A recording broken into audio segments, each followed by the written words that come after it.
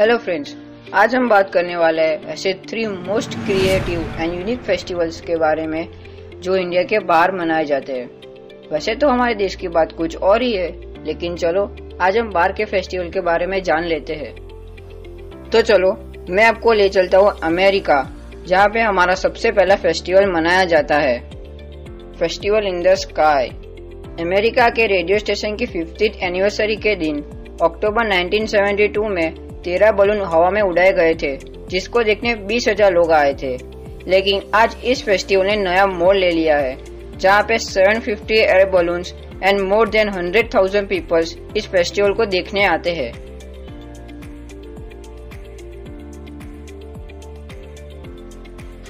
और यहाँ तक कि इस फेस्टिवल को सबसे ज़्यादा photographic event in the world माना जाता है।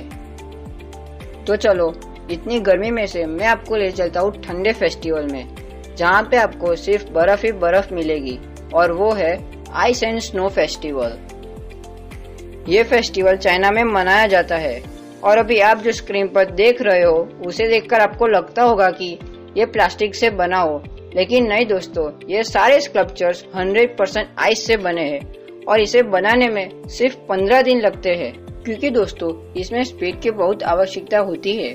आप समझ ही रहे होंगे। ये सारे स्कल्पचर्स 600,000 स्क्वायर मीटर्स में मनाए जाते हैं।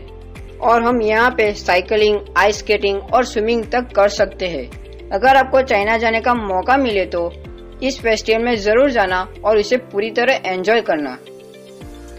अगला फेस्टिवल हमारा लास्ट और आपका सबसे फेवरेट फेस्टिवल होगा। और ये मैं कह सकता हूँ क्योंकि उसका नाम है इलेक्ट्रॉनिक म्यूज़िक फेस्टिवल। हर साल बेल्जियम टुमारोलैंड म्यूज़िक फेस्टिवल को होस्ट करता है। टिकट तो दोस्तों मिनटों में सेल हो जाती है, लेकिन सवाल है कि टुमारोलैंड इतना पॉपुलर क्यों है?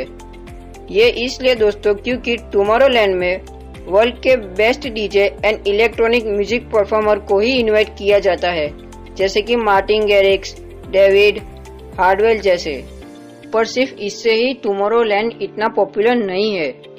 यहाँ पे फ़ैन पार्क, फायरवर्क जैसी बहुत सी चीज़ें होती है, जिसे लोग पूरी तरह एंजॉय करते हैं। इवन अगर आप सिर्फ़ स्टेज को देखे तो लगेगा कि कोई साइंस फिक्शन मूवी का पूरा रियल सेट लगाया हो। तो दोस्तों, आज के लिए बस इतना ही। अगर आपको वीडियो अच्छी लगी हो तो हमारे चैनल को ज़रूर सब्सक्राइब करें लाइक करें शेयर करें और कमेंट करके ज़रूर बताइए कि आपको अगली वीडियो किस टॉपिक पर चाहिए।